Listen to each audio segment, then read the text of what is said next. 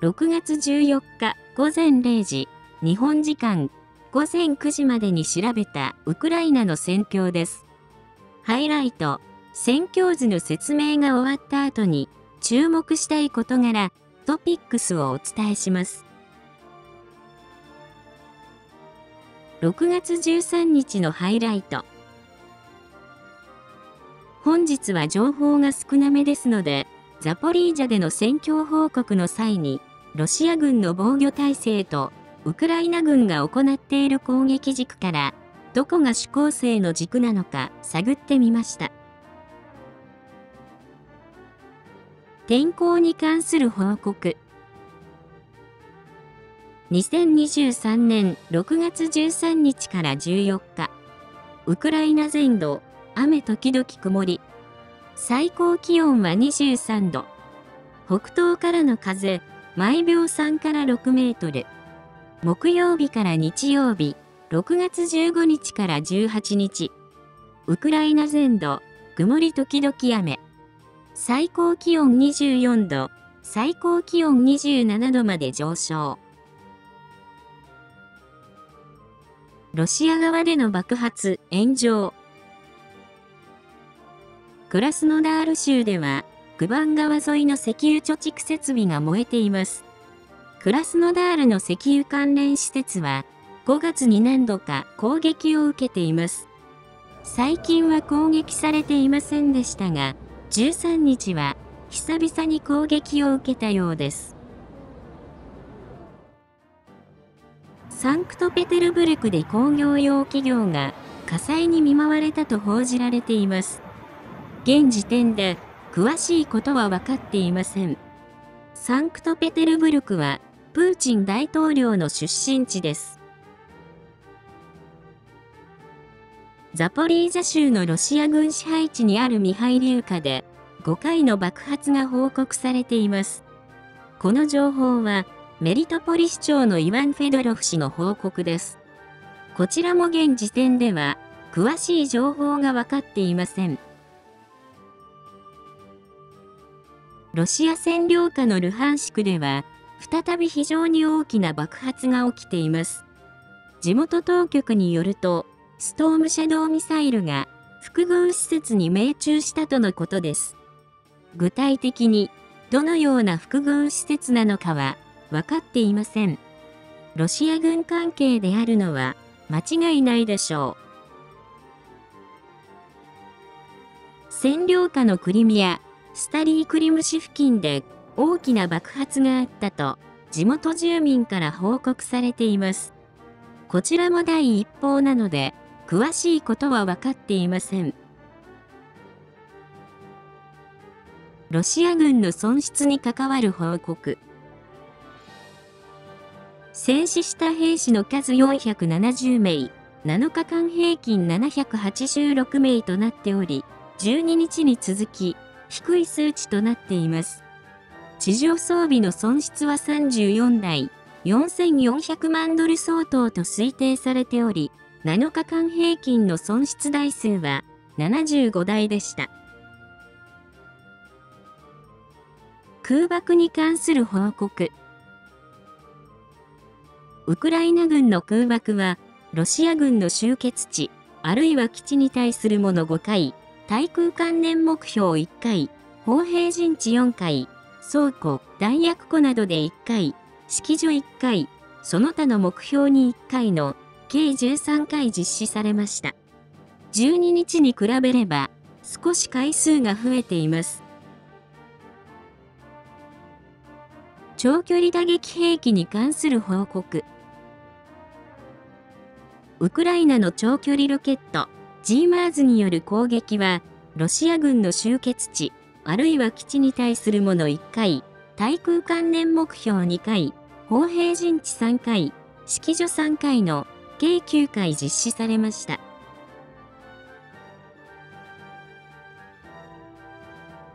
次に、戦況について、戦況図を使ってご説明します。クピャンスク方面、スバトバ方面、クレミンナ方面。この3方面では、ロシア軍の攻撃に関する報告も、ウクライナ軍の反撃に関する報告もありませんでした。先日動画でお伝えした東部方面に、ウクライナ軍の攻撃が迫っているというロシア軍内の噂を裏付ける動きは13日も確認されていません。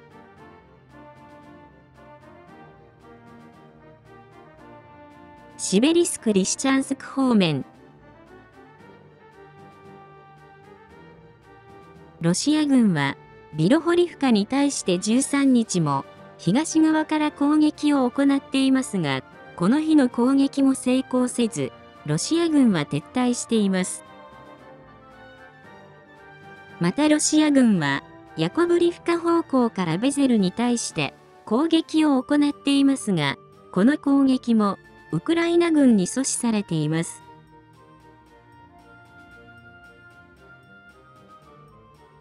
東部バフムト、アルチェモスク方面。バフムト市内及びその周辺の戦況です。本日バフムト周辺の情報はほとんどありません。戦況図は12日の状態となっています。新たな情報が入り次第に戦況図を変更します。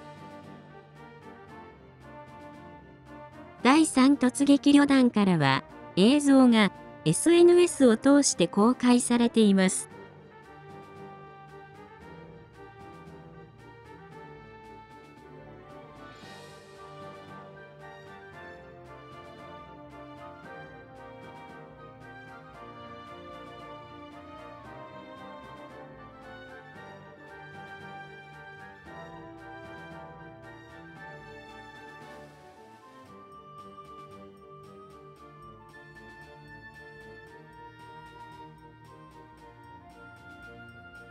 部ドネツク市方面北側。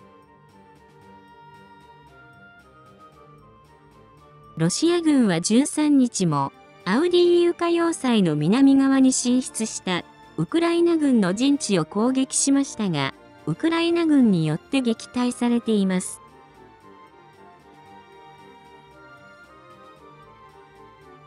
東部ドネツク市方面南側。ロシア軍は13日もマリンカに攻撃を行っていますが、攻撃は失敗に終わっています。また、これは未確認の情報ですが、チェチェン軍のアフマト部隊司令部で爆発があり、司令部要員が死傷したという情報があります。真偽や詳細など、続報が入り次第にお知らせします。ノボマイルスクではまだ市街戦が続いているようで、ウクライナ軍は占領できていないようです。状況が分かり次第に報告します。ノボドネツクの南側でも戦闘が続いている模様ですが、本日は情報が入っていません。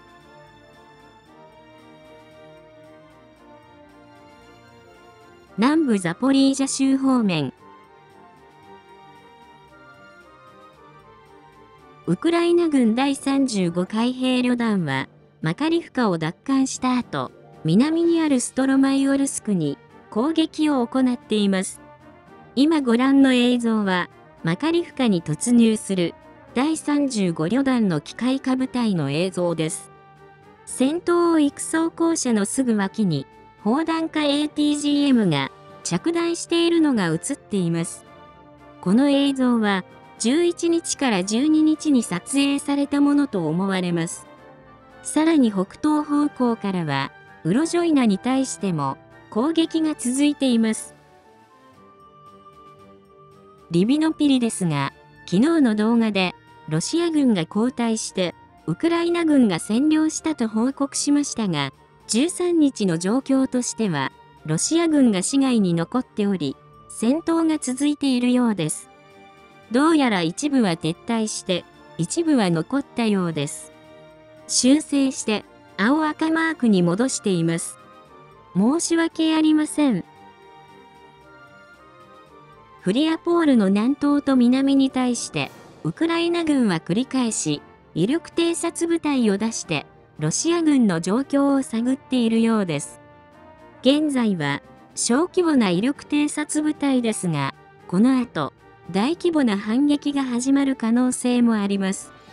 ロシア軍は、この地域のウクライナ軍の動きを注視しているようです。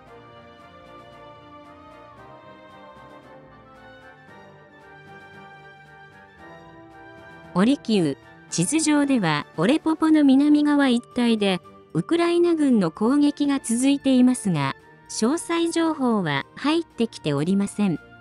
この付近はロシア軍が一番分厚く防御している地域ですので、簡単には攻略できないと思われます。戦況図に変更はありません。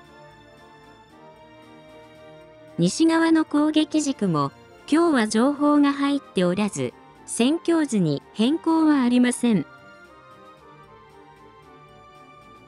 本日は情報も少ないので、ザポリージャ方面、南部戦線でのロシア軍の防御体制とウクライナ軍の攻撃体制を整理して、ここから読み取れることは何か少し解説したいと思います。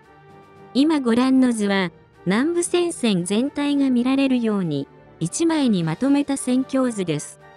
赤い線や点はロシア軍の防御陣地、要塞の位置を表しています。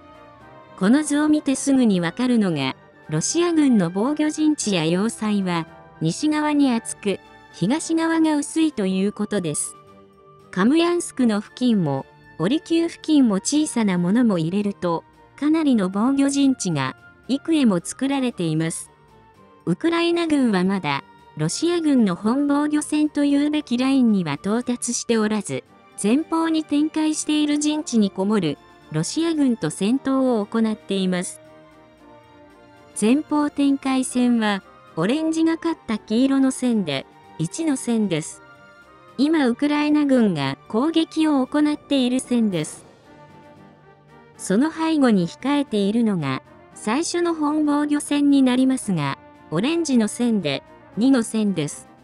そして、もう一つの濃い赤い線3が、2つ目の本防御線となります。これら3つのラインを、すべて地図に入れると、一番西の攻撃軸と、折球の攻撃軸の先には、前方展開線1と、さらに2と3の防御線が待ち構えています。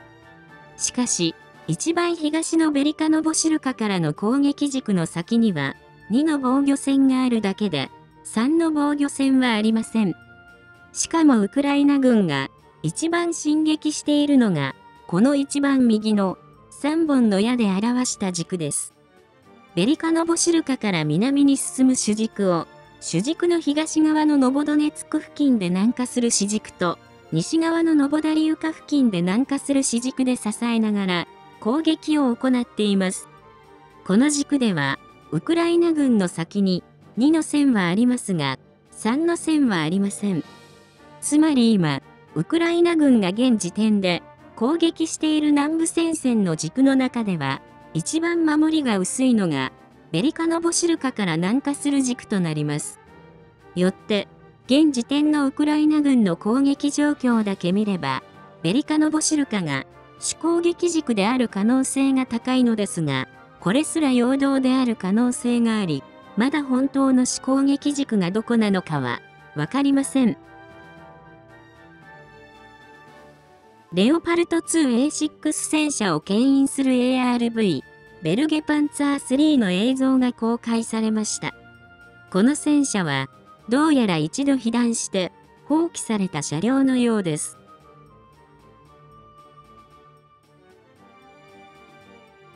南部ヘルソン州方面。この方面では、ロシア軍の攻撃に関する報告もウクライナ軍の反撃に関する報告もありませんでした。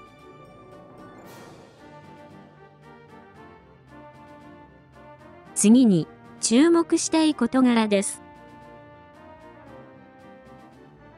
ウォール・ストリート・ジャーナルによると、米国が劣化ウラン入りの戦車砲弾をウクライナに送ることを決定したそうです。イギリスはすでに劣化ウラン弾の供与を決めていますので、米国で2例目となります。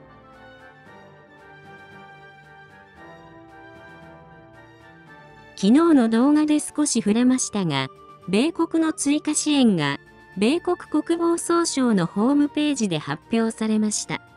走行車両は思ったより少なく、ブラッドレーとストライカー合わせて25台です。この数では、機械化歩兵2個中隊も編成できないと思われます。損失分の補填なのかもしれません。ナサムス用追加弾薬。スティンガー対空システム、ハイマース用追加弾薬、155mm 及び 105mm 砲弾、ブラッドレー歩兵戦闘車15台、ストライカー装甲兵員輸送車10台、ジャベリン対装甲システム、投ミサイル、AT4 アンチアーマーシステム、2200万発以上の消火器弾薬と手榴弾、障害物除去用弾薬、戦術的安全通信支援装置、スペアパーツ、及びその他のフィールド機器。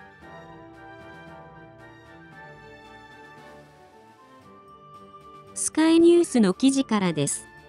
オーストラリアの FA18 戦闘機をウクライナに引き渡すのに十分な状態かどうか評価を行っている。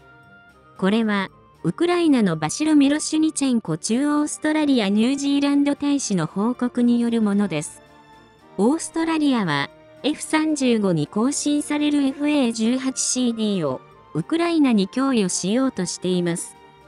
そのための評価がオーストラリアとウクライナ双方の要因により行われているようです。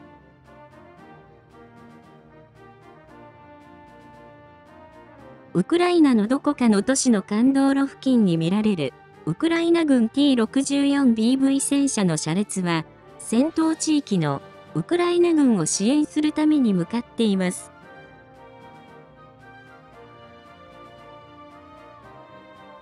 シリアの TG チャンネルは軍関係者の話としてゴラン高原、イスラエルとシリアの国境にある山岳高原からイスラエルがダマスカス市近郊の複数の標的を攻撃したと伝えています。この攻撃の結果、火災が発生したようですが、被害状況は不明です。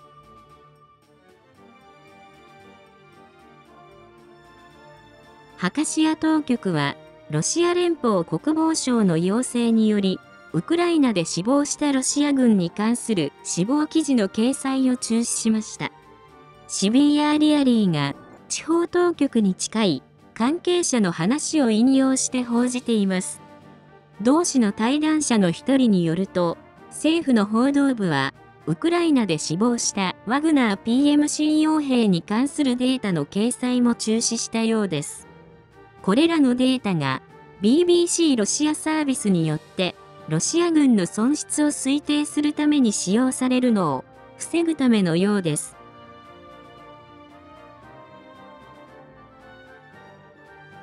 ブルームバーグの記事です。北朝鮮は石油と引き換えにロシア連邦に対ウクライナ戦争用の武器を供給することを決定したようです。報道によると、平壌は対ウクライナ戦争用の武器をモスクワに移送する準備を進めているようです。石油供給の再開は、ロシアと北朝鮮の協力関係の強化の一環のようで、他にも取引が行われる可能性はあります。米国では各国が互いに助け合うことで制裁を逃れることができるため、このような事態に懸念を示していました。38ノースのサイトにあるように、2022年末からロシアは北朝鮮のトゥマンガン地区の鉄道駅に石油を送るようになっています。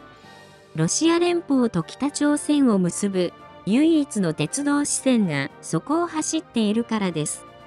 予想通りです。イランにしても北朝鮮にしても、すでに制裁でかなり経済状態は悪化していますので、ロシアと関係を強化した方がメリットが大きいと思われます。この2国は今さら二次制裁など気にしません。